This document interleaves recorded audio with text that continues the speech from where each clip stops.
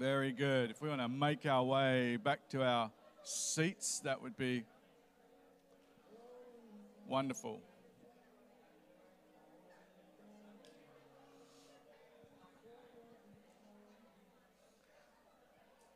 Very good. Very good, very good, very good.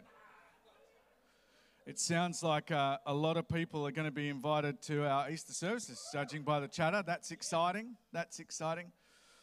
Uh, if you had a uh, birthday this week, we want to uh, wish you a happy, happy birthday. We know uh, our good man Peter had a birthday. We know Melissa had a birthday. We know Lorraine had a birthday. And anybody else who had a birthday, we do celebrate you. Um, we also know that Len is coming up this week, and Supper and uh, Ram Collie and Estelle are having birthdays. And yesterday, we got to celebrate my daughter's 16th birthday.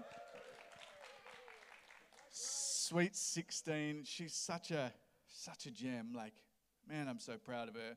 Um, we also got to uh, celebrate her the other day. She won uh, MVP for her basketball team. Um, she's just doing really well, and yeah, it's a, it's a blessing. It's a real blessing. God's goodness, man, God's good, right? God's good. In every season, God is good. He's just so good. Even in the most challenging of times, God is good. He's a comforter, He's a guide, He loves us, He's a father. Um, this week, I had the privilege of um, spending some time with a wonderful couple who aren't here today for a good reason uh, Robert and Jody. They came to our church several months ago um, after being recommended to check out a sermon online. So they watched a sermon online um, and then decided to come to the church. Met you guys, look around, you guys, yeah, met all you, and said, We like this place. We want to be part of this place. So uh, they started coming. They started attending Connect Group. They started to be discipled. They started to be pastored. They started to build relationship. They love God. Then they decided we have to get right with God. Let's get married. So on Thursday, I got to officiate their wedding right here in this church. What a celebration. What a beautiful time. I think we've got a photo of them actually. Do we have a photo? Look at them. Beautiful. That's with their mom and brother. That was the one of the club spot out the front, but you can't see it in that photo with the family. It's, it's hidden. I'm sure Rob would have moved everyone out the way and just had the car if he could. But it was really um, beautiful. They, um, they read their own, wrote and read their own vows. And they just taught from their heart about how God had transformed their lives individually, but then united them together as one. Special, right? God is good. God is good. He's really, really good. A real blessing. Um, we had um, Connect Group on Wednesday night, and um, we've got a uh, amazing group of people in our Connect group, just like every Connect group, I guess. Um, but I heard a, a, a, testimony of God's power that just, oh man, it got me, got me right in the feels. Um, so I, I actually want you guys to hear the testimony too, um, again, because God is good um, and we want to celebrate all that He does. So I'm going to ask my brother Heinrich to come up here and share with us. Can we give this mighty man a round of applause. Bring the big fella up too.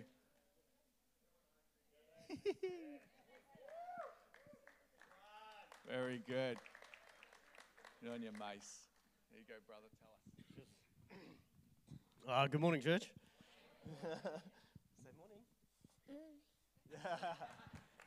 Yeah, um, for you guys that don't know me, um, my name's Heinrich. Um, I work FIFO, so um, I used to do two and ones, but I've recently gone back to eight days and six days. And um, so the way I changed my roster was um, so I can be home with family more. So do the eight and six and be more involved in church. But last swing, everything took a bit of a turn.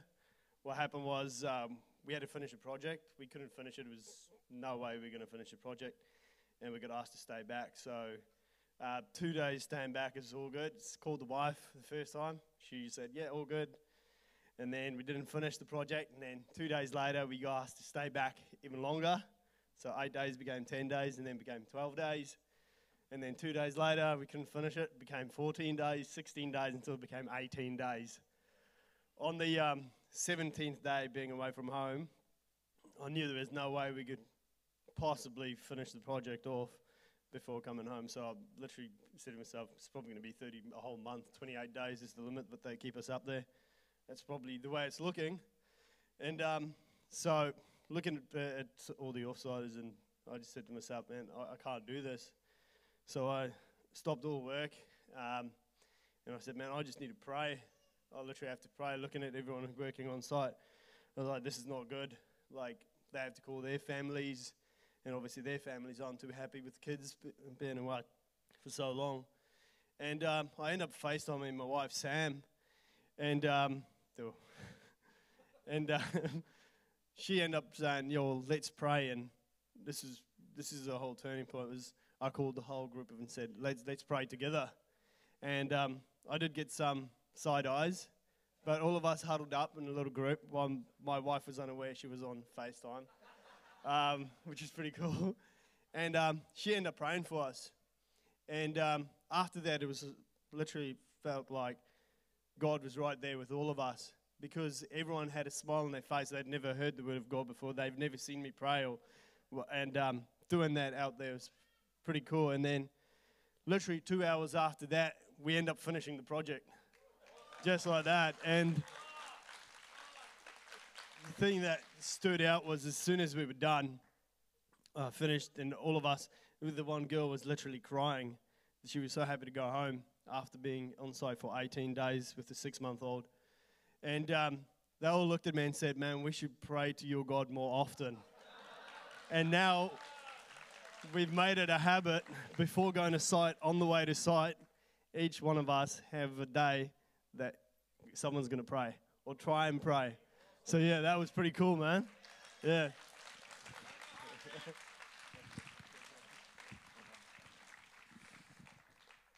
Get you in the fields, right? You're out in the fields. How cool is that? Can you picture that? You picture that? All these blokes in their high vis gathering around in the work site on site. What are we going to do? My wife's going to pray for us. Hold the phone. Lord, help us fill this hole. Well, the Lord filled the hole. Now, filling the hole. They couldn't get the hole filled. There was, they, they just couldn't fill the hole. There was a void that they couldn't fill.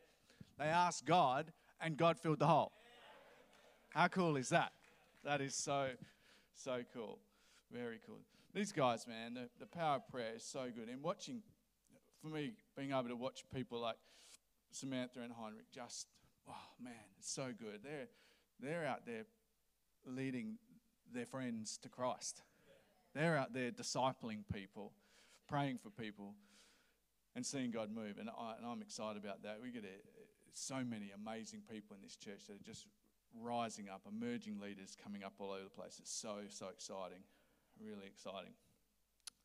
Um, I also want to celebrate um, Monica this morning. She's, our, she's an Aussie now. Monica's a citizen, which is really cool. All Aussie, which is really, really cool. That's all right. We still celebrate her. It's very good. She's awesome. Awesome. And actually, I want to celebrate you as well, Jeff. You're a mighty man of God. Jeff is a good man, just a good, faithful man. Up at the hospital, ministering to people, praying for the sick. Um, yeah, really, really, you're a good man. Thank you. Um, we had a meeting this week, which was also really exciting, um, with one of our local high schools, a big local high school, uh, to talk about a project that we want to do with the high school, um, which is working. Uh, it, we're creating a program which is um, family and domestic violence prevention working with um, teenagers in the high school. And the high school have invited us in, secular high school, not a Christian high school, and they've actually changed their curriculum to suit our program so we can be in the school every week helping the school, um, which is, yeah, just super, super exciting. Um, really love that. It's really good. Things are happening. It's exciting. It's really good. God is really moving. We already have six people down for baptisms on Easter. Um, let's believe for some more. If you need to be baptized, then um, step out in faith and do it. Amen? All right. All right. We'll get into the word. This morning, uh, I've entitled this sermon, Give It to God. Give it to God. But before we get into the word, let's pray. Heavenly Father, Lord, we uh, want to give you the reverence and the honor that is necessary, that is needed. You are amazing. You are sovereign. You are almighty. And Lord, I pray this morning that it's your word that is heard, that there be less of me and more of you. Lord, I pray that every ear that hears your word this morning receives it and is transformed by it, me included, Lord. Speak to us all this morning. May we be completely hidden in the shadow of the cross under your covering, your grace and your mercy. May we be supple enough, humble enough, and teachable enough to receive a revelation from heaven to know you more. To know you more. May you be glorified this morning. In Jesus' name, amen. Amen. Did you know that God has an incredible plan for your life? Did you know that? He has an amazing plan for you personally. He has created you wonderfully. The destiny and purpose that He has created you for is more powerful, more amazing, more transformative than you can fathom or imagine in your mind. God has created you on purpose with a purpose. Did you know that? On purpose with a purpose. I think most of us in the room today would say, Yeah, I, I kind of believe that. I think God has created me for a purpose. Don't always know exactly what it is, but I know He's created me for something good. But we also go through tough seasons seasons of frustration, seasons of uncertainty, seasons of hurt, and seasons of worry. We worry about all sorts of things. Or is that just me? I remember when our children were young, my wife reminded me of this yesterday, that both Christy and I would often worry about our parenting. Christy, especially, she'd worry about being a good mum. Always concerned if she was good enough, if she was mum enough. How will the kids turn out? What will they be like when they grow up? Is our parenting too strict? Is our parenting not strict enough? Do we show enough love? Do we give them enough freedom to choose? Do we give them too much freedom to choose? Is anybody with me here? Does anybody do this? Parents out there? Are we putting too little food in their lunchbox? Are we putting too much food in their lunchbox? Is there enough snacks or not enough snacks? Is that too much fruit or not enough fruit? How many grapes can they eat? Do we make them study too much? Are they not studying enough? Are they doing too much extracurricular activities? Are they not doing enough extracurricular activities? Are they spending enough time reading their Bibles? Are we pushing it on them too much? What are we doing? So much worry, so much concern. Last night I was standing and watching as my daughter Grace was giving a speech at her 16th birthday, thanking God for her friends.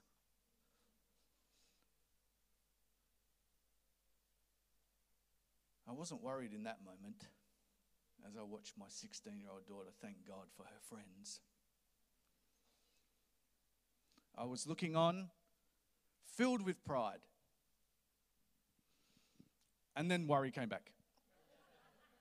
She's growing up way too fast. What happened to my little girl? She's become a young woman. She's getting her driver's license.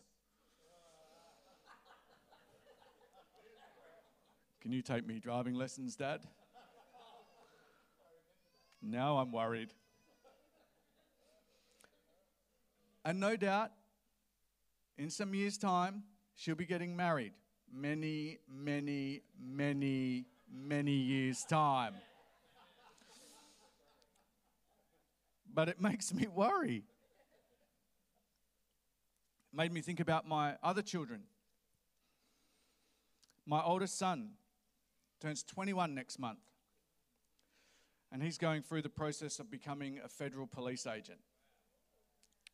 Any moment now, my little boy, who's big and covered in tattoos, speaks with a deep voice. How you going, Dad? Any moment now, he's going to be flying to Canberra to spend six months of intensive training with the federal police. Then, any moment from that point, he could be posted anywhere in the world. Makes you worry. What if it's far away? What if it's in a different country? What if it's in a dangerous country? What if it's a dangerous posting? What if he needs me? He doesn't really need me anymore. but so much to think about and so much to worry about. And that's only one topic of life. It can be challenging. Turn with me, if you will, to Matthew chapter 6. Matthew chapter 6. When you get there, say hallelujah. Verse 25. Therefore, I tell you, do not worry about your life, what you'll eat or drink, or about your body, what you'll wear. It's, is not life more than food, and the body more than clothes? Look at the birds of the air. They don't sow or reap or store away in barns, and yet your heavenly Father feeds them. Are you not much more valuable than they? Can any one of you, by worrying, add a single hour to your life? And why do you worry about clothes? See how the flowers of the field grow? They don't labor or spin. Yet I tell you that not even Solomon, in all his splendor, was dressed like one of these. If that is how God clothes the grass of the field, which is here today and tomorrow is thrown into the fire, will he not much more clothe you? You have little faith. So don't worry, saying, What shall we eat? Or what shall we drink? Or what shall we wear? For the pagans run after all those things, and your heavenly Father knows that you need them. But seek first his kingdom and his righteousness and all these things will be given to you as well. Therefore, don't worry about tomorrow, for tomorrow will worry about itself. Each day has enough trouble of its own.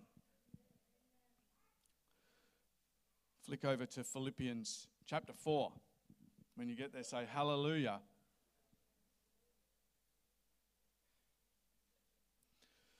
Philippians chapter 4, verse 6. Do not be anxious about anything, but in every situation, by prayer and petition, with thanksgiving, present your requests to God.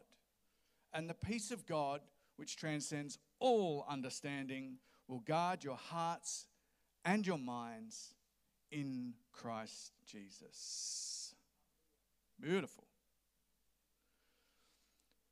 Jesus said it very plainly and quite repetitively do not worry. Do not worry. Now, I'm of the opinion that if Jesus says not to do something, then he has our best interests at heart. Amen? He isn't trying to make things hard for us, he isn't trying to trick us or lead us to a false sense of security. He is concerned about our well being. The very fact that not worrying is talked about so much in Scripture is amazing, and yet we still worry. It shows us that just maybe we've missed something. Something has eluded us. We've tolerated something in our lives and in our thoughts and in our emotions. We've tolerated something and allowed it to flourish. That thing, in reality, worry, well, that's destructive. That doesn't help us. And Jesus told us not to do it, not to worry. We worry about so, so many things. I know people that all they do is worry. Doesn't matter what's happening, they worry about it. I'm pretty sure people like that worry when they get a gift that they might get a paper cut opening the gift.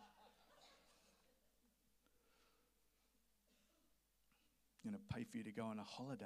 What happens if something happens on the holiday? What happens if I get sunburnt? we get twisted and tied up.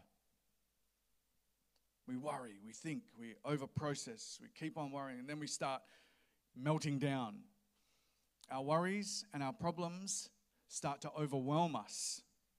So consumed by concerns and thoughts and feelings.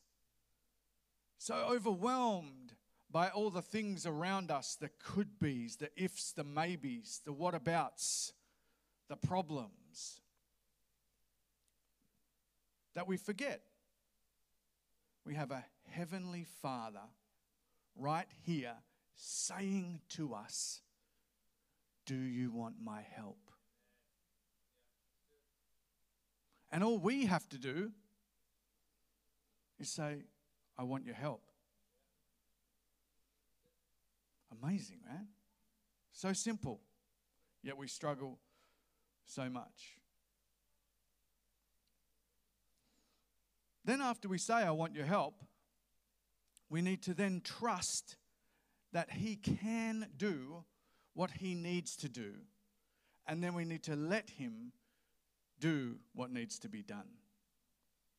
And sometimes that's the hard part. We can trust that God has a plan. We can trust that God's plan is good. But sometimes we don't want to trust the way that God will outwork His plan. If you could just do it my way, God, just do it the way I would like it done, that would be much better, please. If you could just have the outcome that I choose, then I'll be okay with it.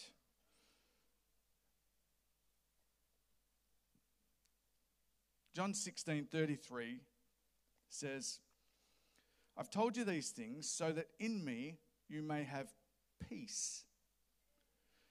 In this world, you will have trouble, but take heart. I've overcome the world.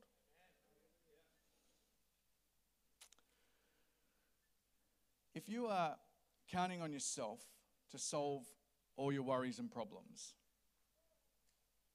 then of course you're going to be worried and stressed.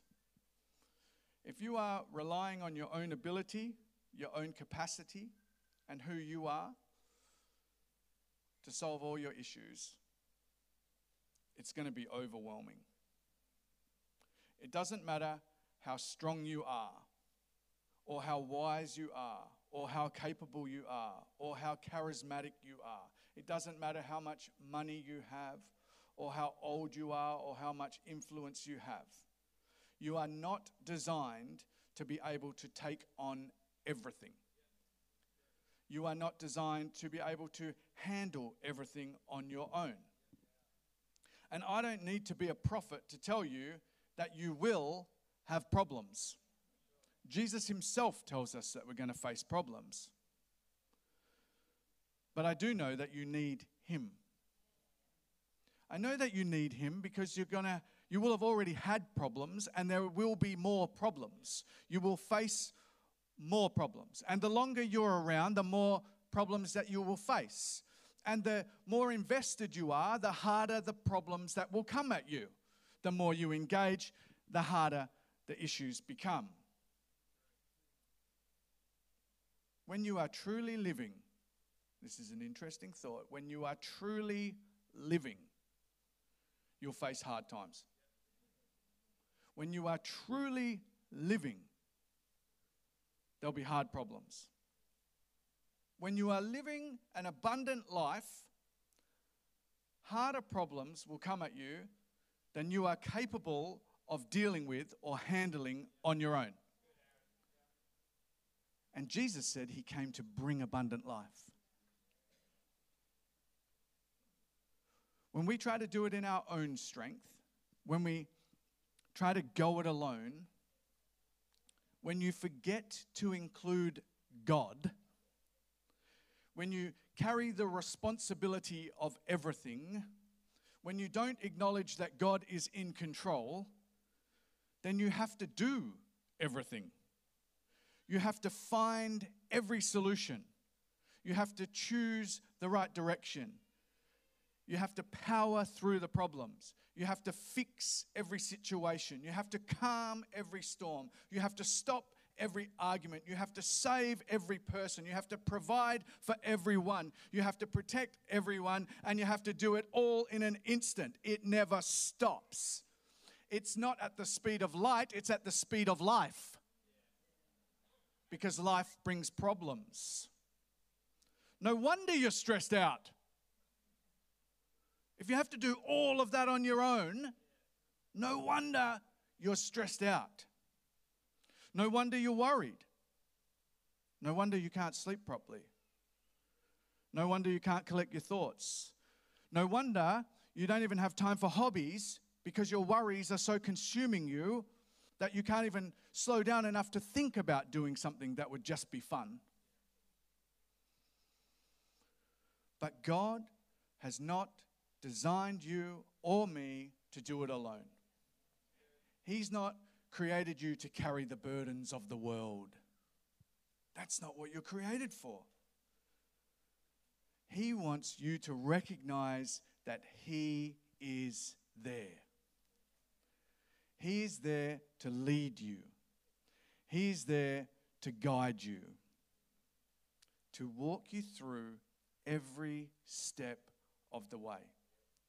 God is there. Turn with me to Deuteronomy 31. Deuteronomy 31. I had the privilege of attending and being with a family at a hospital recently uh, as a loved one was passing away. And I shared this before, but I was waiting um, in the hospital area and I was just asking God, what do I say? How do I bring comfort in a situation like this? What are the words? What words could I possibly bring that could help anybody?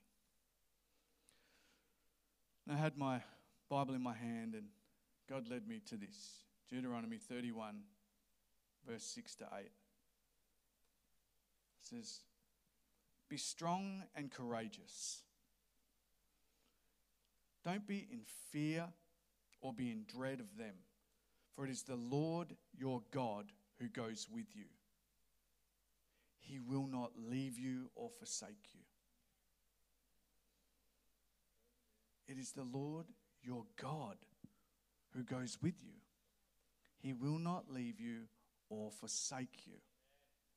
It is the Lord your God who goes with you. He will not leave you or forsake you. He loves you. Here's the deal God doesn't just want to give you every resource to get through the season of trouble or just give you every answer that you need to get through your problems. He wants to be what you need in every situation. He wants to be the answer to every problem that you face. Not give you the answer, He wants to be the answer. He doesn't want to just get you through this, the issue, He wants to be with you in the issue. It is all about God. Often we get into situations and it's overwhelming. We struggle to even think or process how we're going to get through things. There's so much on top of us, it just keeps piling up and piling up and piling up. And it's hard to know what to do, but a touch from heaven, a touch from God, changes everything. Changes everything. In Acts 23, it tells this story about Paul who was in prison for preaching the gospel. People were plotting against him, they were looking at how they could kill him. They were gathering a posse. They were going to come after him. They were going to take him down. That was it. They're going to get him. They wanted him gone. They wanted him dead. Paul was worried, and rightfully so. I think he was worried with good reason. 40 people are coming after you wanting you dead. That would worry you. But in Acts 23, verse 11, it says, The following night, the Lord stood near Paul and said, Take courage. As you testified about me in Jerusalem, so you must also testify in Rome. Jesus reached out to Paul in his worry. One touch from Jesus, one moment with Jesus, changed everything changed absolutely everything. That was all he needed to know that Jesus was with him, to know that Jesus had a plan for him. I don't know what you're facing right now. I don't know the ins and outs of everybody's life. I don't know the wins and the losses, the problems of everyone. And I don't know what you're worried about or concerned about right now.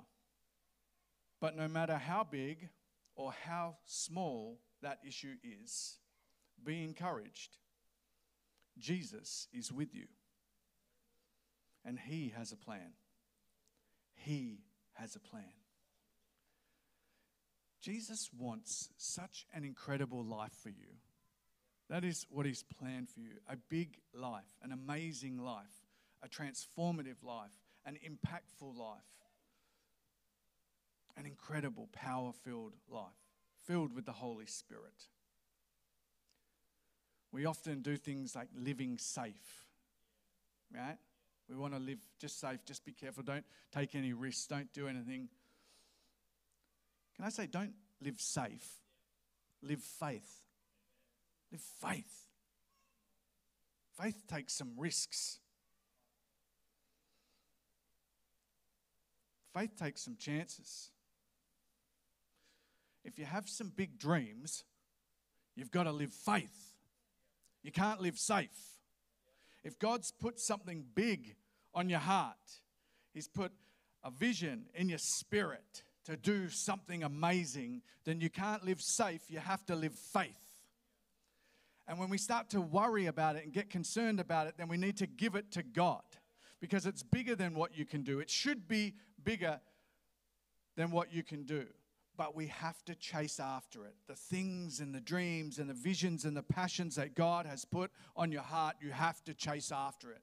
You have to take a chance. You have to keep pushing it over to God. Not let the worry get on top of you, but step into faith and the calling of God on your life. Commit that vision to God.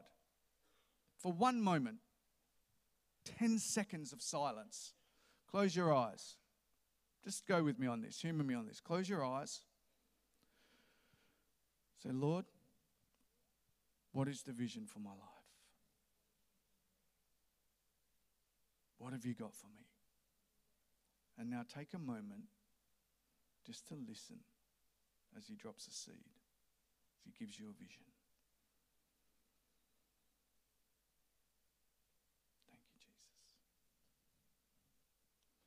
For some of us, the picture, the vision, the dream that God puts in your heart is so big that it's intimidating. Well, it should be. It's so big that it seems impossible to do. Well, it should be impossible without God. If it's not intimidating to you, then it's probably insulting to God. Because we need to be giving it to God. Follow Him, calling out to Him. Commit it to God in prayer. Don't spend time worrying about the what ifs, the maybes, the could be's, the hasn't happens.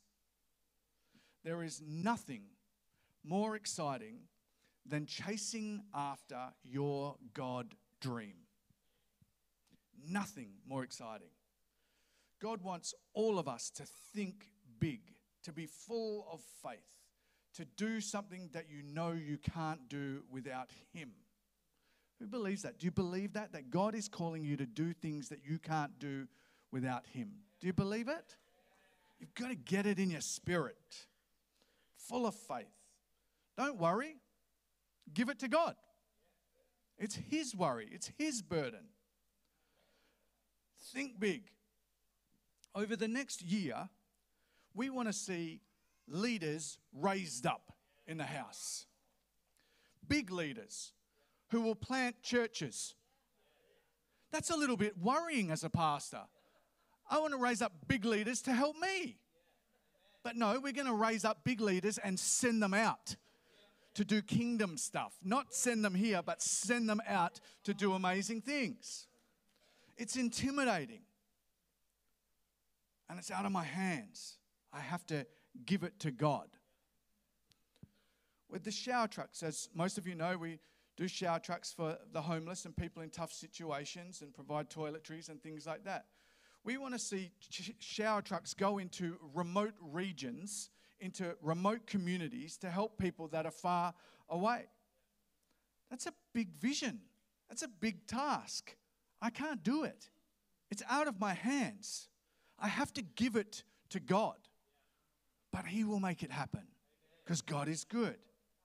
It's a big vision. It's a big task. We have to give it to God. We want to go to Timor and we want to help the kids that we built that house for last year. Remember, we got to do that? How incredible was that? We want to go to Timor and we want to create education plans and we want to create a future for them so they can be educated and they can have children and good families and move forward and their village can be transformed. Transforming a village, that's a big task. That's intimidating. I worry about things like that. It's out of my hands. I give it to God. We want to set up this uh, family and domestic violence prevention program in the school. It's a big task. It's intimidating. It makes you worry. It's out of my hands.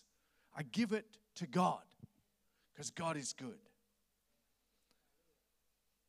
These are all big things that cause worry. You've got them in your heart. There's things in your heart that God has planted there, seeds in your heart, visions, pictures that God has dropped into your spirit, things He's calling you to do. And you cut it off because it's too big, it's worrying. Just give it to God. God will take care of it.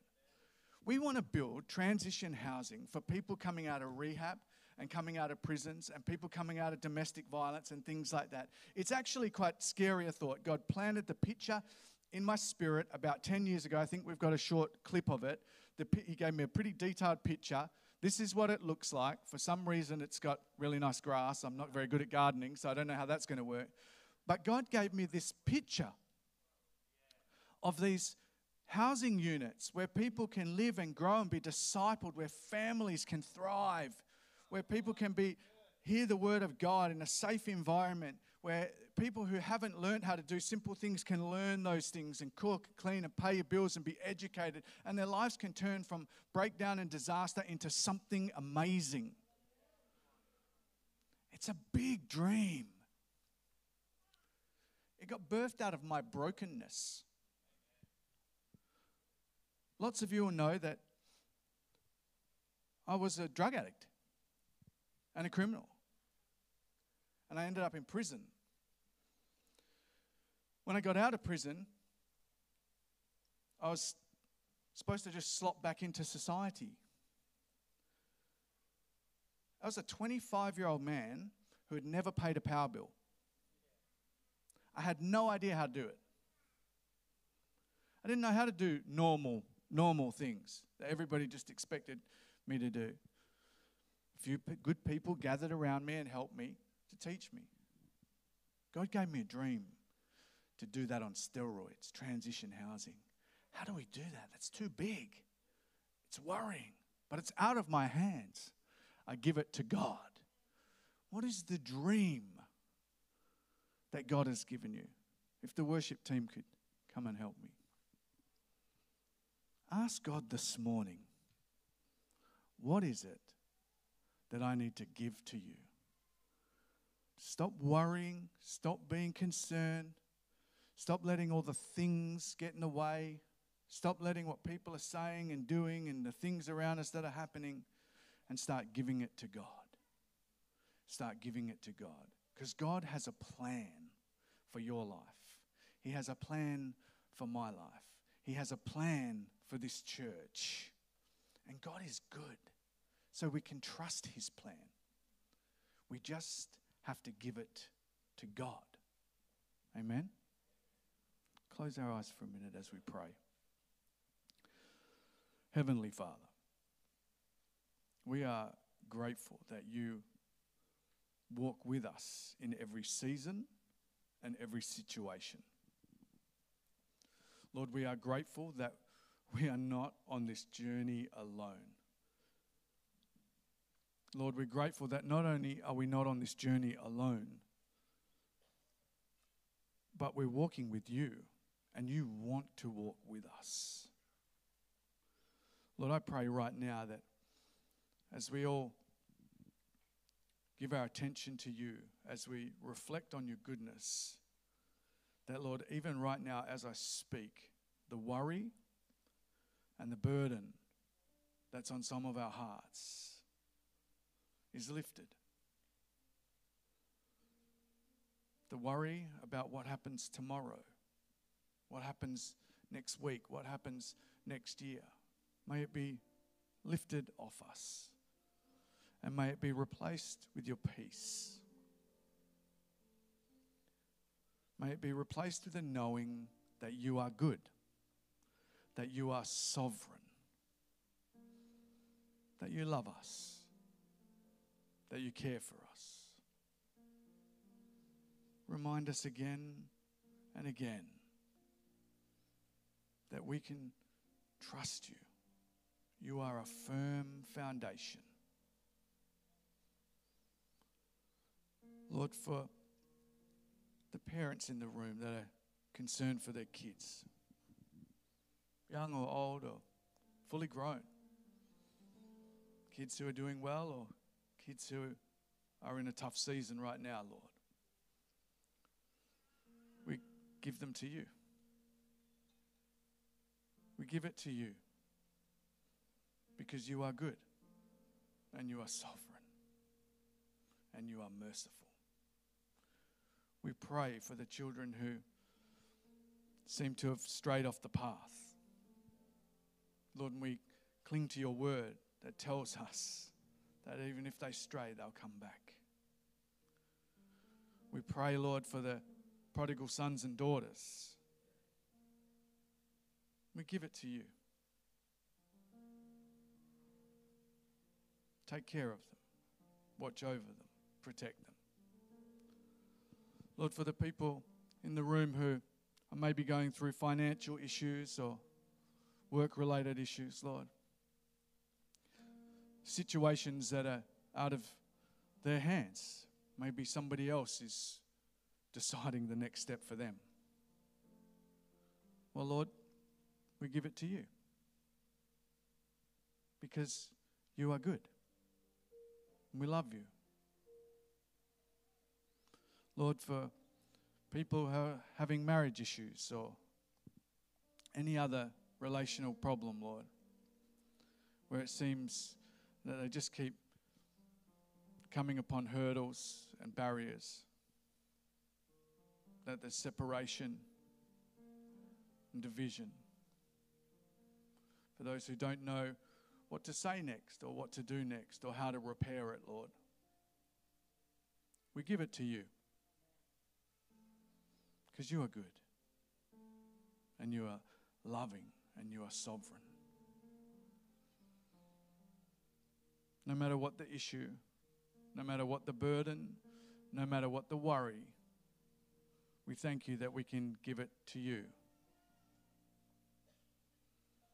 And Lord, as we release our worry and our burden and we rest in your embrace and in your peace and in your loving care,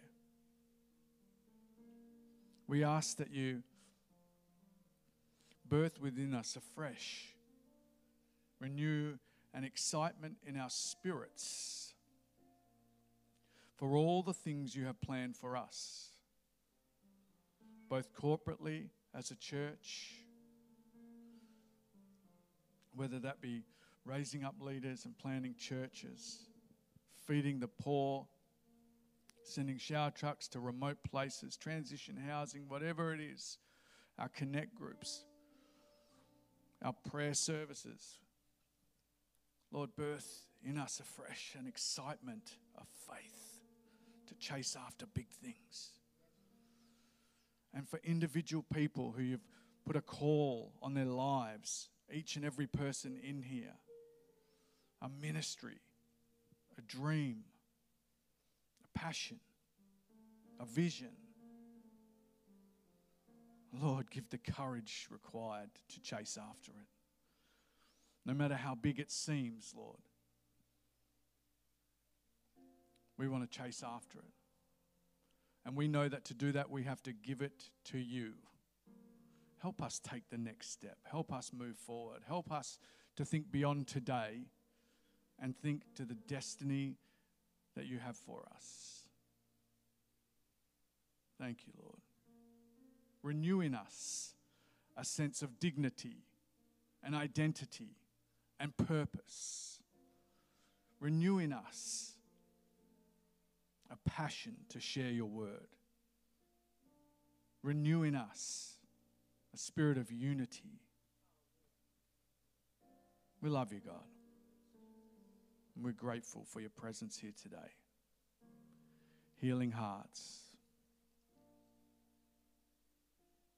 Thank you, Jesus. With everyone's eyes closed and heads bowed, the Spirit of God is here. The Spirit of God is here. No matter what season you're in, no matter what you're going through, God is here. And with every eye closed and every head bowed and nobody looking around, if you're here this morning and you know that you need to get right with God,